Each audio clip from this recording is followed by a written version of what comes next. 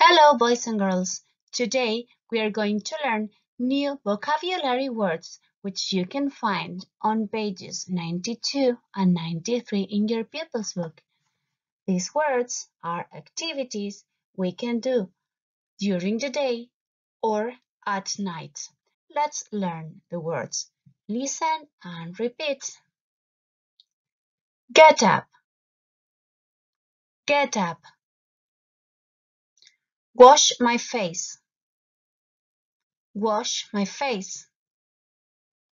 Brush my teeth. Brush my teeth. Comb my hair. Comb my hair. Have a shower. Have a shower. Get dressed. Get dressed. Make my bed. Make my bed. Go to school.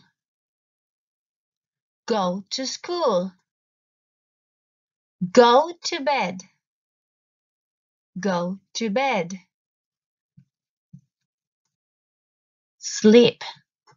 Bye bye. Good night, little girl. Well, boys and girls, I promise next video you will see the clicks. I know you like it. Okay, see you on the next video. Bye bye.